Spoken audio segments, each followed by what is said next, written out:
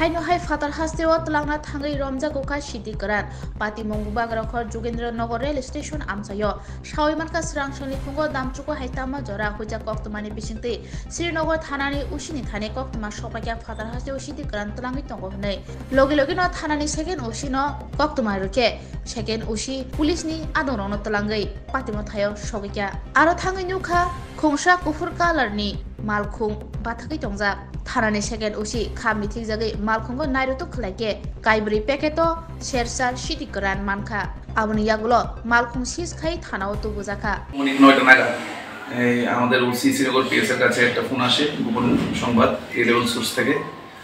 Phone আসার পর বড়বাবু আমাকে জানায়, এবং আমরা স্টাফ নিয়ে ওই যোগেন্দ্রনগরের চমনি নিকটে যাই।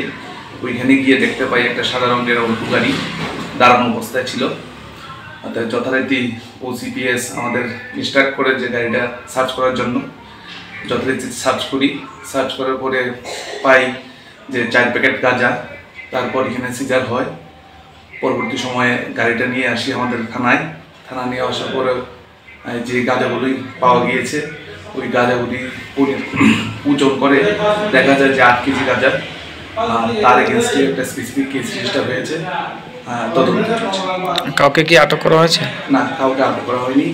ওই সময় কোনো গাড়ির মধ্যে কেউ ছিল না এই জন্য কাউকে পাইনি। কোথায় নিয়ে যাওয়া হচ্ছিল এই গাঁজাগুলো?